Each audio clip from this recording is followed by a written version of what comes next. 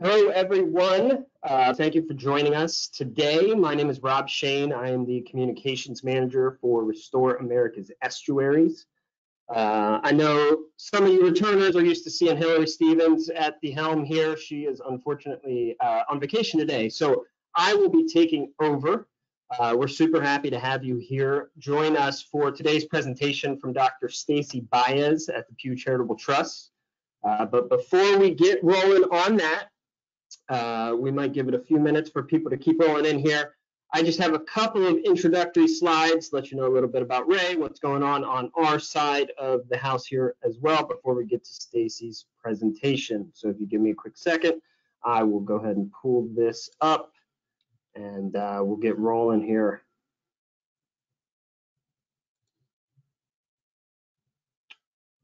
Uh, so again, the presentation for today is uh, Seagrass, an ally in the fight against climate change, um, featuring Dr. Stacy Baez of the Pew Charitable Trust.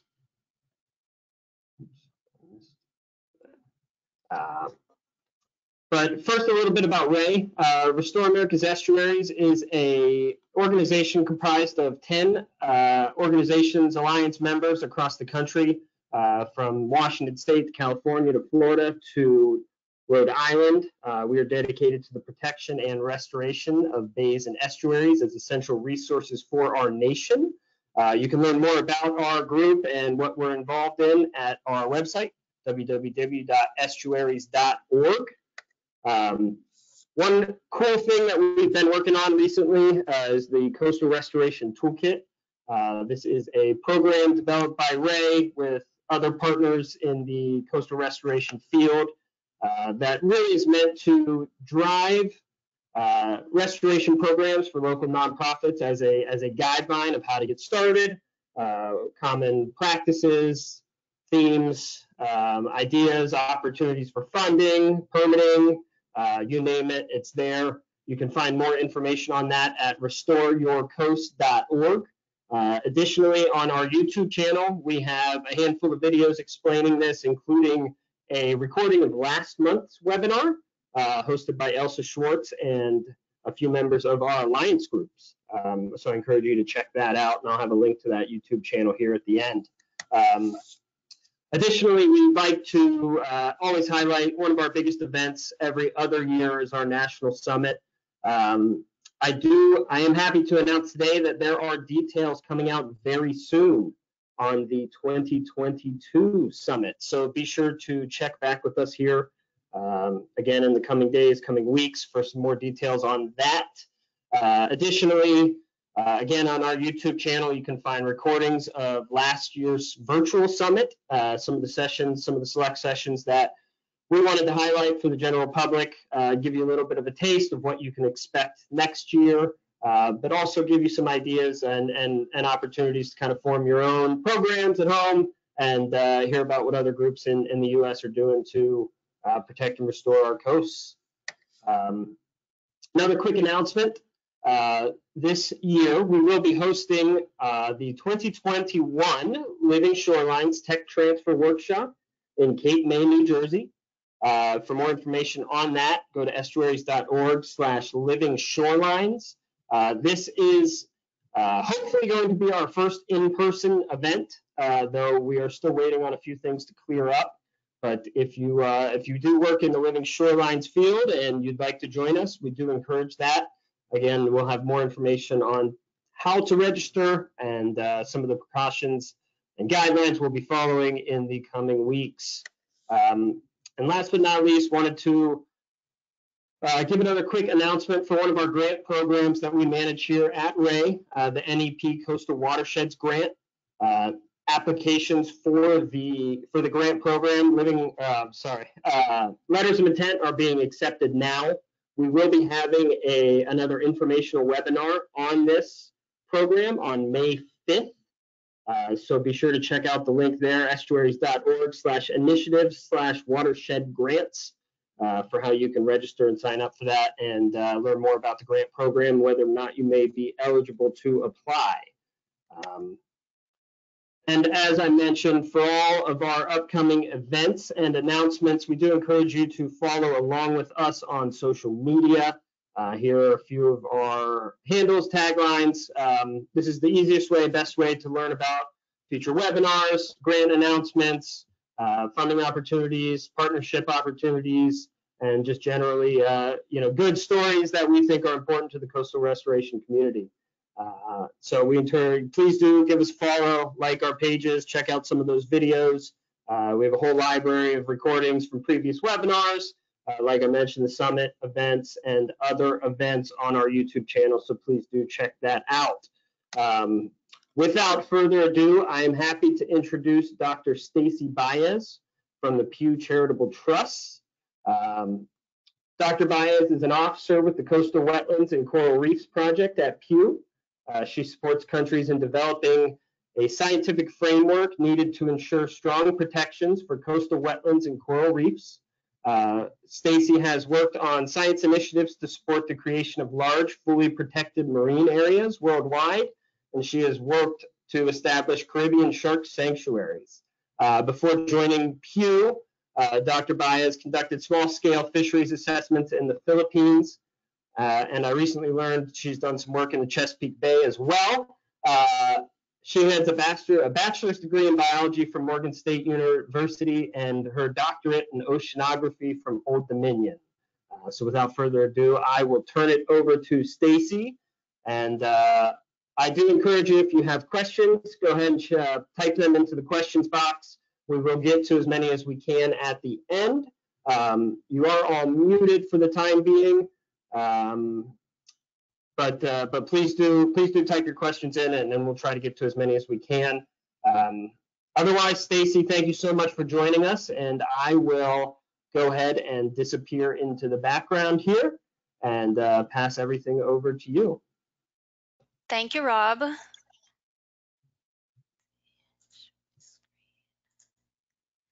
Um, can you see that PowerPoint, Rob? Yes, well, it looks Yeah. great. Thank you. Okay, great. Thank you. There's a lot of stuff on my screen. Just want to clear it off a little. Um, so thank you, everyone. Uh, major thanks to Ray for having me on today, particularly Hillary and Rob. I'm, I'm really excited to be here today. Um, as Rob mentioned, I work for Pew and um, I work on a project to support coastal wetland protection as well as coral reefs. And these uh, coastal wetland protections are seen as a nature-based solution in the fight against climate change. And typically when we think of a nature-based solution, our mind wanders off to a forest, and, rightfully so. But today, uh, during this webinar, I hope when you hear the term nature-based solution, you also think of seagrass. Um, I know many of you are US based, um, and so I'm going to give a global perspective of seagrass, stepping away from the US to think more globally about this ecosystem. And then we'll come down to one of our projects in Seychelles. So it's a very interesting research project mapping seagrasses and uh, developing a carbon estimate for seagrasses in country. So before I dive into seagrass, I just wanted to mention that um, the IPCC, the Intergovernmental Panel on Climate Change, has three marine ecosystems that they recognize for its measurable contribution towards the goals of the Paris Agreement. Um, and just to remind everyone, the overarching goal of the Paris Agreement is to keep global temperature rise below 2 degrees Celsius, ideally no more than 1.5. And so countries can put forward um, protection and restoration of mangroves, salt marshes, and seagrasses. These three ecosystems, and you'll hear me say coastal wetlands, I, I mean these three um, when I say coastal wetlands, um, have approved methodologies by the IPCC for estimating carbon storage and, and sequestration rates. And so they can be put forward um, in an inventory. And I know many of you might be familiar with this um, infographic. It's from the Blue Carbon Initiative, but there's many versions of it. And I just wanted to show very briefly when compared to terrestrial forests, which are the boreal and tropical forests, um, the two bands above, mangroves, salt marshes, and seagrass meadows hold disproportionately more carbon per equivalent unit area than terrestrial forests. And it's because these systems are coastal. They're typically called blue carbon ecosystems because of their coastal nature. They're often inundated or submerged like seagrass. And that low oxygen, salty water, you know, that anoxic environment slows the decay of debris and litter and other organic matter. So these ecosystems accumulate really rich organic soils. And that carbon that rests in the soils can remain there for millennia if these ecosystems are left undisturbed. So it's it's critical to think about them not just for the adaptation benefits to climate, but also in terms of like holding carbon in place because when these ecosystems are lost, that carbon that was once previously there and may have been there for decades is now um, oxidized. It goes back out as carbon dioxide, along with things like methane and nitrous oxide. So instead of the ecosystem drawing down um, carbon, it now in turn emits. So we want to protect and restore um, as much of these very important places as we can. So I'm going to dive into seagrass. And if we were in person, I would have done this quiz and it would have been a lot of fun. Um, but since we're virtually, and I'm going to speak for about 40 minutes, which could be a little bit of a bore, um, I thought it might be fun still to do this quiz. And uh, I have no technical capacity for the, the Zoom polls. I've been on webinars and we have breakout rooms and Zoom polls. And so it's just going to be in your head. Um, so stepping away from the US for a minute, how many countries contain seagrass? And I'll give you two seconds to think about that. Is it 191 countries, 159, or 138? So the answer is B, 159 countries. Seagrasses are found everywhere, six continents except the Antarctic. Um, so we know that seagrasses are, are everywhere. So how much of it do we have? And this is a, a, crucial question because it's one of the issues with seagrass in terms of putting them forward for management and conservation. I'll give you one second to think about it. Most people will say it's B, 300,000 kilometers squared. So our best estimate of the seagrass extent globally is 300,000 kilometers squared. But that estimate ranges between, so some people will say 177,000 and then others will say 600,000. So it really just depends on who you ask um, how much seagrass there is globally, but most people will go with B. And then now we know seagrasses are everywhere. There could be a lot of it since we've started recording it, how much has been lost? And this this is an interesting but also sad question. Um, I think everyone on this webinar probably knows it's estimated that we've lost about 30% of our seagrass meadows. So just to recap the, the kind of global picture, um, there's 159 countries. If you have a coastline, you probably have seagrass in that in those waters. Um, global estimates around 300,000 kilometers squared, but there is a large variance around that estimate. Um, we've lost about 30% of our seagrass acreage since 1879, which was when like first recordings started to come online for seagrasses. And then this one, um, which now is kind of an old statistic, but I couldn't find a newer one, uh, seagrasses are disappearing at a rate of 110 kilometers squared per year, and that's since 1980. Um, again, that's a little bit old. Um, I'm sure there's a new rate out, but I was, unfortunately wasn't able to, to find it. Point being, we're still losing seagrass. And when we think about seagrasses, adaptation naturally comes to mind. I mean, they are critical I don't have to tell anyone how critical they are for fisheries. Um, one fifth of the world's largest fisheries depend on seagrass uh, meadows for habitat. It could be nursery habitat or shelter. And when we think largest fisheries, think um, things like cod, pollock, large-scale fisheries. Uh, seagrasses are also important for flood defense and storm defense. So seagrass roots and rhizomes hold ocean sediments together, um, improving shoreline stabilization, the canopy for, for tall, taller species help reduce wave impacts. Um, and these attributes are going to be very critical because we're expecting the intensification and the frequency of storms uh, to increase as our climate changes. And then the last thing, um, which falls more along the lines of mitigation, and it's if it's one statistic you remember from this talk today, or the only thing you remember from this talk today is that 10% of the organic carbon uh, sequestered in the ocean is buried in seagrass beds. Some people will even say 18% of all the organic carbon sequestered in the ocean is buried in seagrass beds. But regardless if it's 10 or 18, because of the vast extent of seagrass, it's a globally significant stock of carbon held in seagrass meadows worldwide. And so countries can look to um, keeping this carbon intact. They might maybe one day want to include seagrass in an inventory.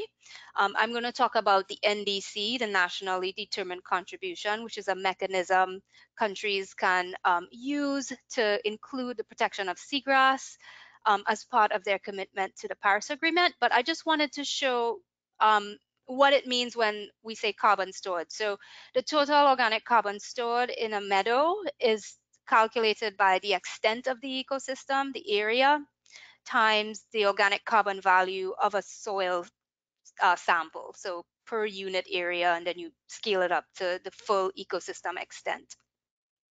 And so countries can do this calculation. They may not need the in situ value of carbon because the IPCC has solved that for them. There are published proxies that any country can use, um, and they're provided for mangroves, salt marsh, and seagrasses. Um, and then the area, which will lead us along the lines of, well, what do we mean by area? What, how good is our map?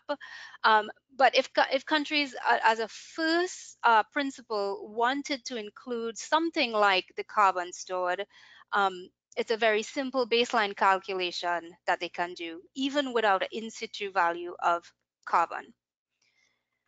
But some places might want to take it further. Um, so this are these are two photos from the Seychelles. And in Seychelles, there are about 11 species of seagrass, from the very small leaf Halophila or Halophila, depending on who you talk to, um, on the left, to Enhalus on the right. And um, Enhalus is, is persistent. It has deep uh, rhizomes. It's strong, you know, very persistent seagrass um, versus the short-leaved um, Halophila. And the benefits provided to fisheries um, and to carbon storage would vary between these two. So eco ecosystem services vary because when we say seagrass, it's just not a monolith. It's so many species, I think 72 species worldwide, um, with varying characteristics. So some countries might want to look more deeply into their seagrass um, species and, and more deeply into how much carbon is actually stored there before they put forward um, a, a commitment. And so I know you guys recently had a webinar with uh, Steve Crooks and Emily Pidgeon. They by far are the experts on NDCs. I'm going to give you a novice take, um, a simplified version of it. So every country that signed the Paris Agreement will put forward a domestic plan. And these domestic plans just outline the actions that they will take to meet the objectives of the Paris Agreement. And they're country specific. So based on your national circumstance, their own priorities, and their own scientific capacity. So it's country specific. These plans are known as NDCs, nationally determined contributions. Every five years, each country will update their NDC with increasing ambition. So over time, the idea is that the the, that plan, that NDC gets stronger and stronger to meet the overarching goal of the agreement. And then lastly, I wanted to say, while this discussion is about seagrass, it's about nature-based solutions to climate, um, nature-based solutions is not um, a standalone. It is to complement emission reduction plans. So think about it as, you know, the, the icing on the cake. Nature-based solutions are important to people, they're important to biodiversity, um, but in of itself, um, we would still need targeted specific emission reductions to, to achieve climate goals. And I wanted to give just a, a quick um, overview. This visual I think is really nice. Um, it helped me really understand when I first started learning about the NDCs and the, and the process. So last year, NDCs were due, uh, but because 2020 was such a crazy year, I mean, countries had their hands full with so many other things that it slowed that NDC process. So countries are still submitting their NDCs, their national plans. Um, so they, they come forward. In 2030, there will be a global stocktake. And the global stocktake just means that we will look at all these plans and see how well we're progressing towards cumulatively reaching this goal. And then 2025, another NDC round. And so every five years, the NDCs should increase in ambition. And then in between the increments of those five years, we look at how well we're progressing. And the idea is that by 2050, we have climate resilience and zero net emissions. Um, if you want to learn more, um, Pew, along with many other partners, um, developed this NDC guidance document. It's found on the Blue Carbon Initiative's website. So if you just go Blue Carbon Initiative and just search policy guidance, it, it will come up. Um, you know, everything you need to know about the NDCs in a simplified way. Um, you could share it with any of the countries that contain a coastal wetlands. So now you know a little bit about the NDCs, you know a little bit about seagrass. How many countries have put forward or mentioned seagrasses as part of their um, commitments? And so we're in 2021. Thus far, there are 12 countries that have put forward uh, or mentioned seagrass in their nationally determined contribution We have some nice Caribbean countries. So I'm actually originally from the Caribbean, so I love to see when Caribbean countries are pushing the needle on conservation, Bahamas, St. Kitts and Nevis. Um, unsurprisingly, there are some big ocean country, Kiribati, uh, Mauritius, you know, large EEZs.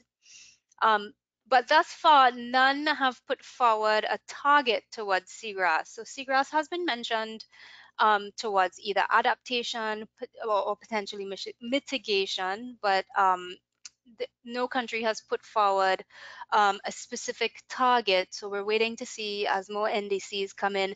Actually, Cabo Verde um, came in like last week or the week before, I don't remember. So so things are coming in slowly, um, and so it's just growing momentum. You know, there's building momentum across the globe looking at these nature-based solutions and now seagrass is coming in whereas predominantly before you would see maybe more mangroves maybe more terrestrial forests so there's growing momentum Oh, and this image is from the UNEP's doc Out of the Blue that came out last year. If you've not had a minute to look at it, I would encourage you to do so because it's a very nice overview of seagrass, not just from the NDC perspective, but like mapping and monitoring. So it's really nice, um, a nice synthesis.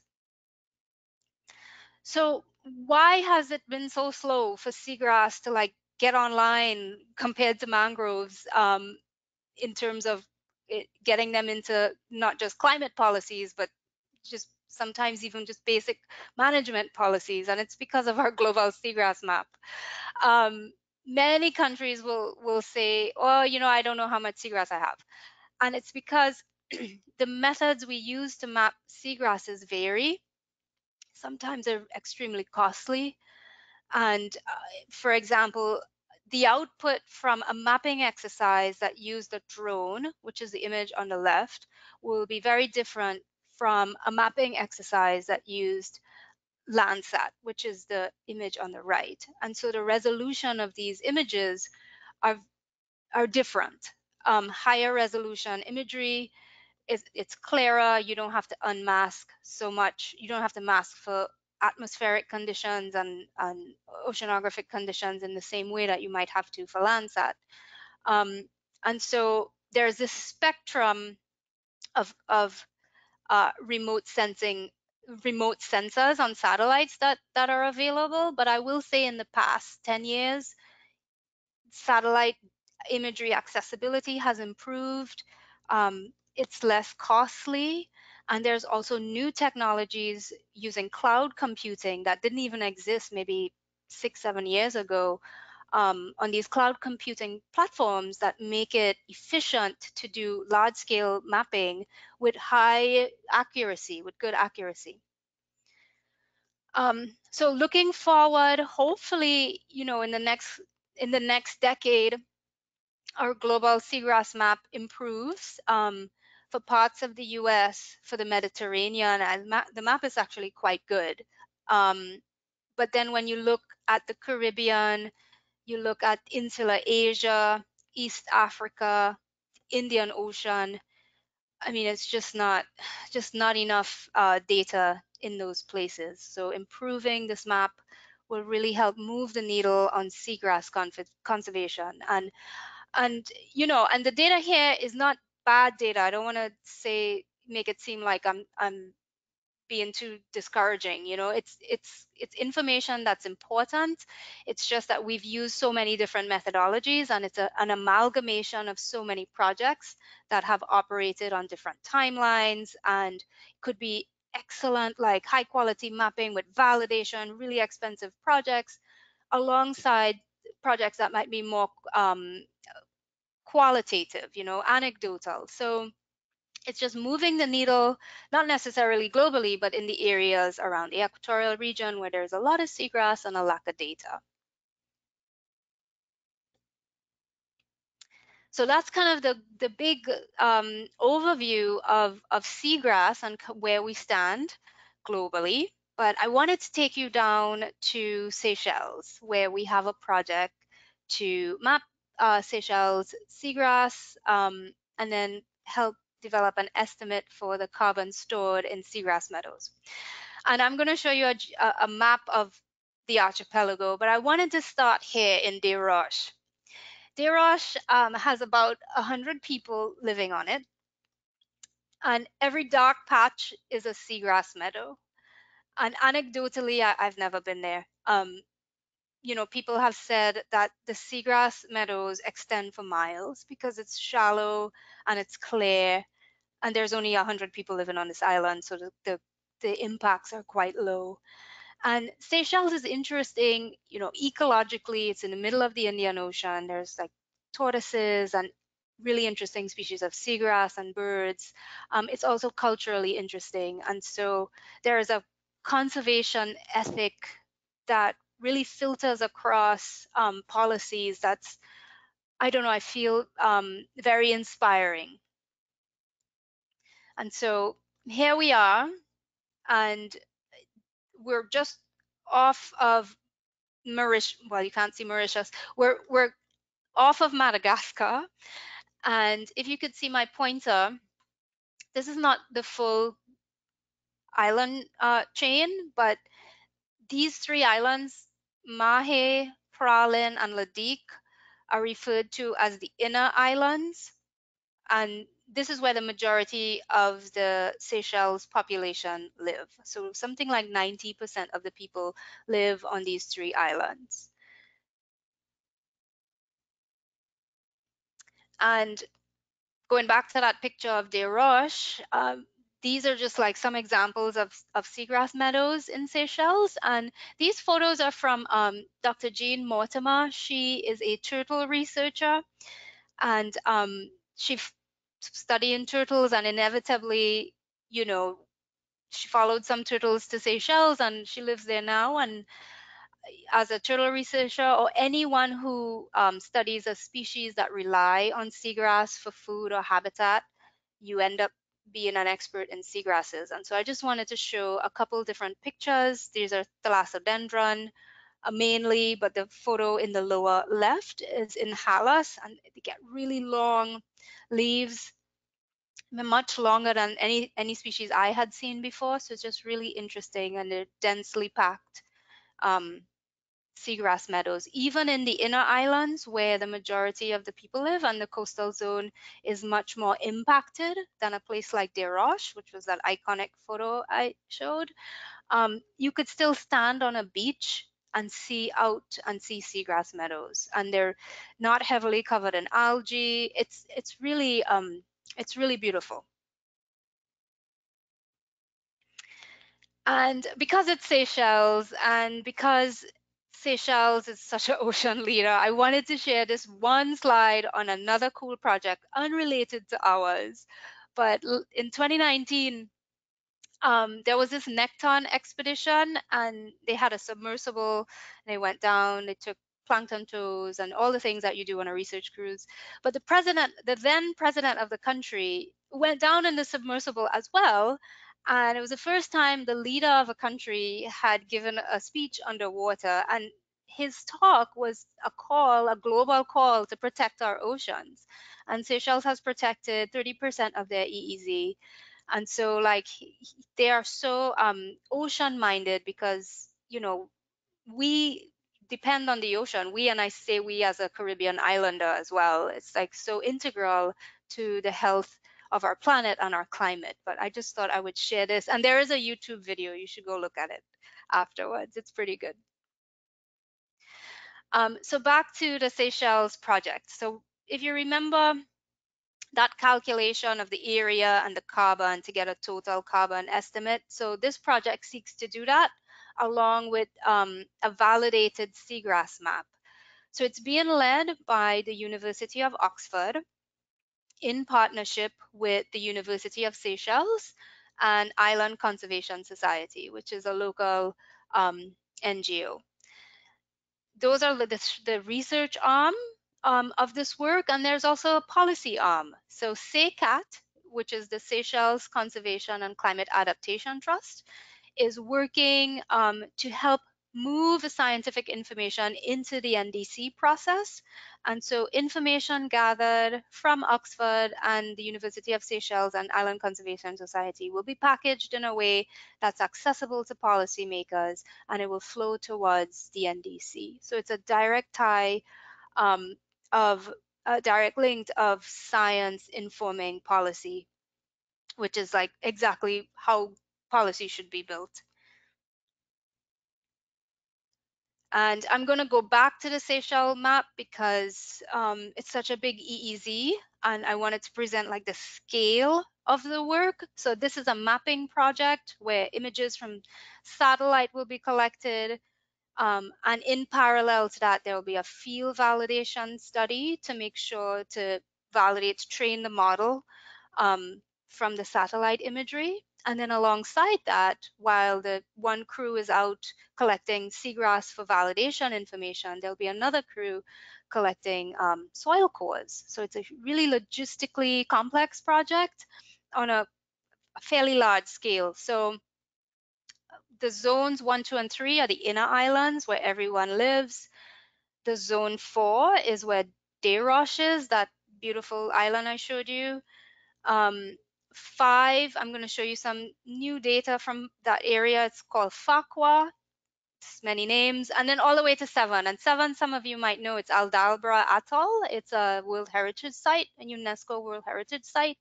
Has um, 100,000 giant tortoises that live there.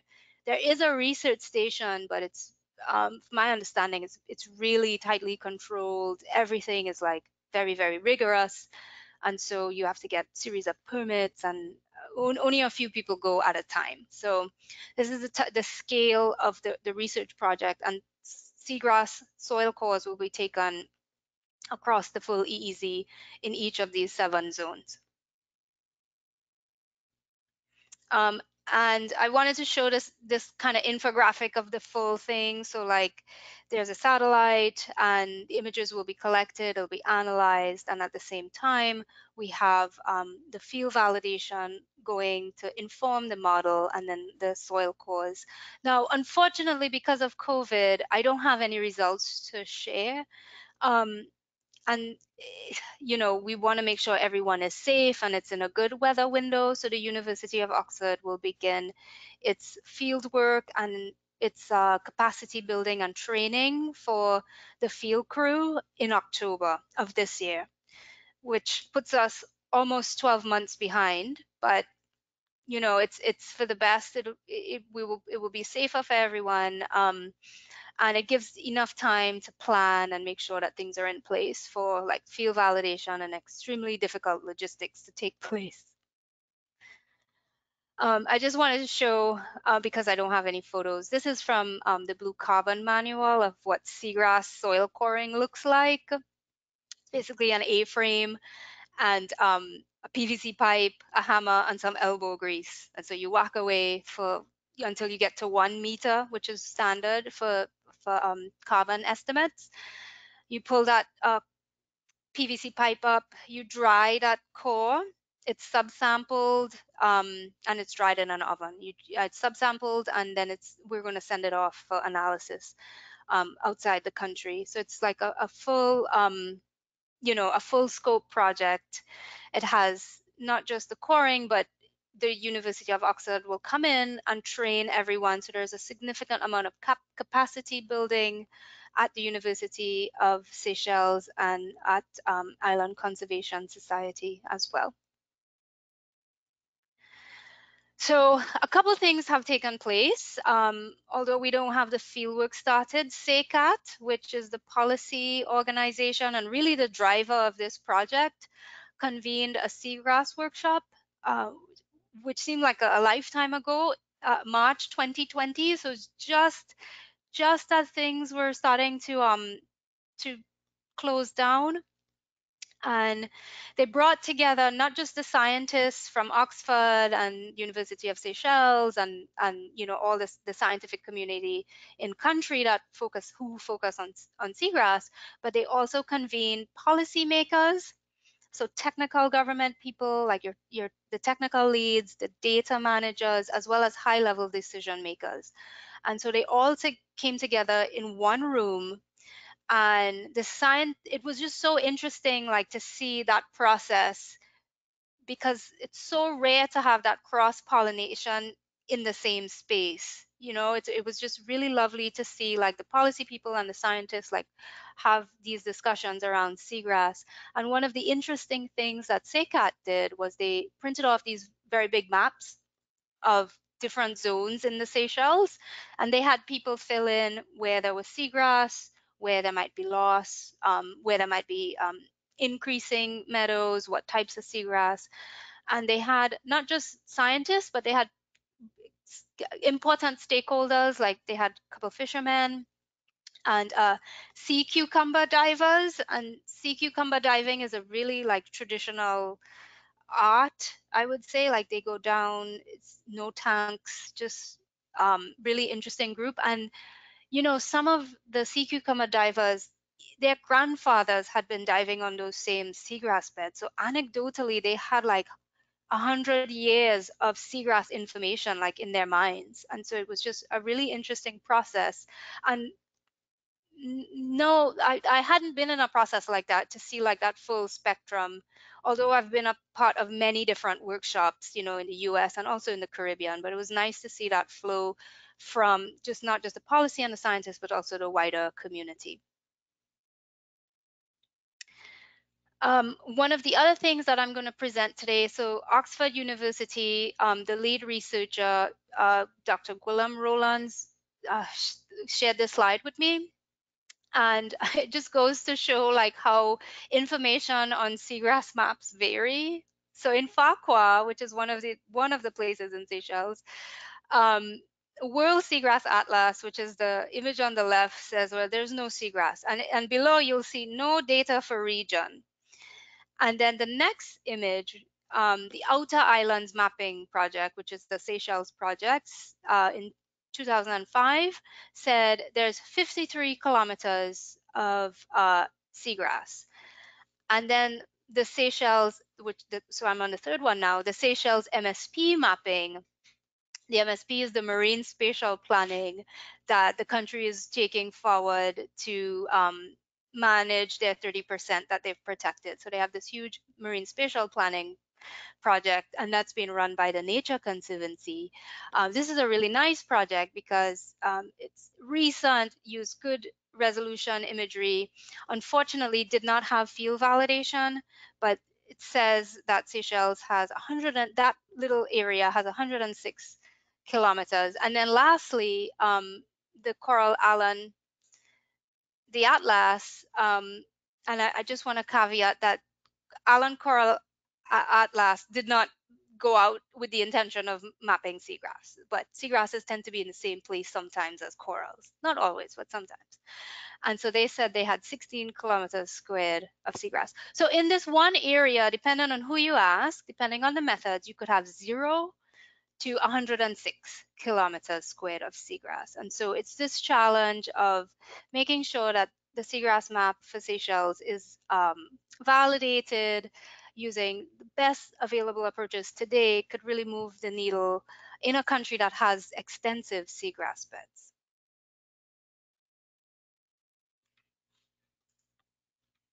Okay, so that's our research project, and I, and I mentioned that there's a whole policy piece um, moving forward in tandem, and I just wanted to show a couple images because I know we might be coming up on time. Uh, since I don't have research to share, I thought these were just interesting side stories that came about. Um, so SeyCCAT, which is the policy organization um, leading the charge on the ground, had their five-year anniversary. And so the photo on the left is Angelique Pouponneau. She's the CEO of SeyCCAT. And then on either side of her two new government ministers. And so you see Save the Seagrass Climate Action. And because of these conversations they were having with policymakers, it ex organically extended to the general public. And so now they they've gone out and done a seagrass traveling roadshow. And so they've gone out to dive associations to help identify seagrass, to the tour guide. So when the tour guides take people on tours, um, you know, they could see different things in the seagrass meadows. And so it's moved on to the wider community. And as part of that process, they said, well, you know, we should have some Creole words for seagrass because the word gomo, which is the Seychelles Creole word, refers to both algae and seagrass. There's no distinct word for seagrass in a country that has a lot of seagrass. And so now um, they've gone ahead and they're working with the Creole Institute at the university to come up for Creole words for the species that are found in their waters. And so their their work is super cool and I'm going to put in a plug for SeyCCAT to follow them on social media because they have like the funniest, most interesting posts. Um, oh, and this is Jeanne Jeanne Mortimer who um, who kindly shared all the seagrass photos with me to to share with you guys today. So follow them on social media. It's a great project. Um, much cooler than any of my social media, I will just say. And so um, where are we now? Well, NDCs were due in 2020. Countries are still submitting. Seychelles is getting ready to submit their NDC. Um, in fact, last week on the Leaders Summit, um, the Minister uh, for Agriculture, Minister Joubert, uh, noted that they're looking towards seagrasses um, as part of their NDC. For the research project, um, Oxford is finalizing sites and methodologies, and there's continued coordination across agencies and institutions in Seychelles. So ultimately, when there is a field validated map and a first time carbon estimate for the country, it flows directly into the policy process, the NDC and, and beyond, also towards management.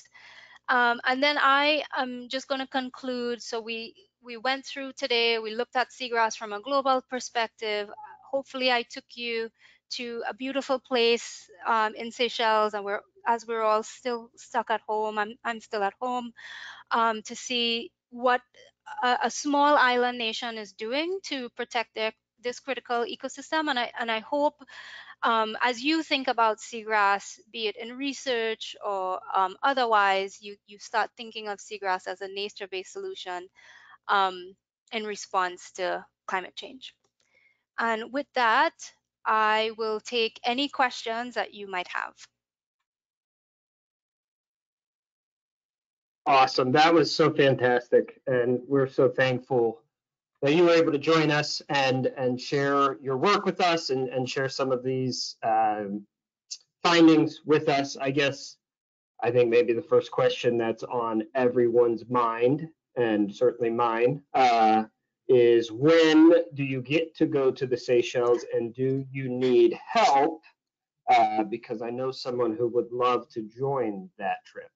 Okay, if that person could fit in a suitcase, there's a greater likelihood that they can come.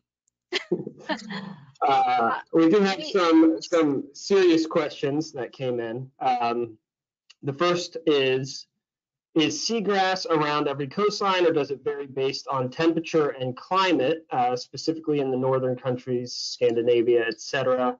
And also, does it vary based on depth? Yeah, uh, the la the latter is really critical. So seagrasses, the maximum depth um, is estimated to be around 90 meters or so. Although in that Nekton expedition um, that I showed, in their submersible, anecdotally, they said that the seagrasses were much deeper. Uh, it just really depends on water clarity. Uh, the limiting factor is light. Um, and, and things like runoff, pollution, sedimentation, all the things that are not so good for seagrass. But if if in a in a clean environment, um, light is the most important factor. Awesome. Uh, next question: How are measurements of carbon sequestration taken to compare forests to seagrass beds? Yeah, it's a really good question. So sequestration varies across ecosystems. So, so seagrasses Okay, this is a complicated answer. Seagrasses sequester carbon at different rates depending on species, sediment type, uh, oceanographic, just basic hy hydrology. And so in comparison, seagrasses will sequester much slower. So this is drawdown, I think is what the person means. And much of the seagrass carbon comes from outside sources. So it's not so much just seagrass biomass. It's like there's a difference between the allochthonous the outside sources and the, the sources from the, the seagrass bed. So to answer that question, sequestration itself is variable, probably slower. But with that said, seagrasses hold a lot of carbon below ground and it remains there for a long time. And so we shouldn't just look to sequestration as seagrass's key value. It, it, it really is about keeping that carbon in place. Fantastic. Um, I have uh, a couple of notes. Thank you, Dr. Baez. Great and inspiring presentation. Uh, wow, this has been very cool. Um, I agree with that one. Um, this was so insightful and a great little getaway from the Midwest. I'm from the Midwest, so I can appreciate that. Uh, the question is seagrass different than seaweed uh, that this person has seen in San Diego? Seagrasses are very different than seaweed. And I'm going to give a little personal story. So I told some relatives, in, I'm, I'm from Trinidad, I told some relatives I was giving this webinar about seagrass.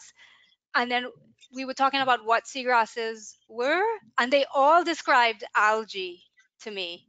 And I said, no, seagrasses have roots. It's a plant. It's a flowering mm-hmm. plant. And they and I couldn't convince them. Imagine. I'm like, what are you talking about? Who are you going to listen to here? they're like, no, no, no, it's that's seagrass. And I'm like, no, it's algae. Um, yeah. So even in places where there's a lot of seagrass and it should be, um, you should regular people should know the difference. It's like seagrasses have roots, rhizomes, they're plants, they produce flowers. Algae just have a hold, hold fast, so they just hold on to attached to rock. And for that reason, they don't sequester carbon in the same way as seagrass because they just blow off into the ocean or they get eaten and seagrasses are able to hold that sediment together because of the rhizome and the root system and it keeps things in place. Awesome, thank you. Uh, I'm going to combine two questions here because they're they're somewhat similar. Uh, first, can you talk about the mechanics of seagrass restoration? Uh, and the second is how intense is an activity, how intense of an activity is it to restore? Uh, are we in a place to expand seagrass coverage or are we at best aiming to recover lost areas or hold on to what we've got? That is such an excellent question. And un unfortunately, I may not be the right person to answer it. You know, the US, like in Virginia, they've done an excellent job of seagrass reforestation. Um, sorry, seagrass restoration. But, you know, it's really challenging. That's, yeah, I, am sorry, I'm, I can't speak to that from personal experience. Uh, no, that's perfectly fine. Uh, to those who, who were asking about that, I know we do have some resources on our website about seagrass restoration. Uh, we've done and worked with partners who have been doing uh, restoration in the, in the, Chesapeake, certainly in the Gulf, and uh, out on the West Coast as well. So I invite you to check that out at estuaries.org. And I imagine Pew might have some stuff on, on their website about that as well. Um, uh, one other question about uh, about coring. What is your average water depth you are retrieving soil core samples in Seychelles? Yeah, sometimes, well, because we've not done the, the field work as yet, it's going to be 30 meters and shallower, and then there's another team 30 meters and deeper. But I don't know how deep. Probably not that much deep. Not I, I I would have to check and come back to answer that. But I would say 30 meters is probably max.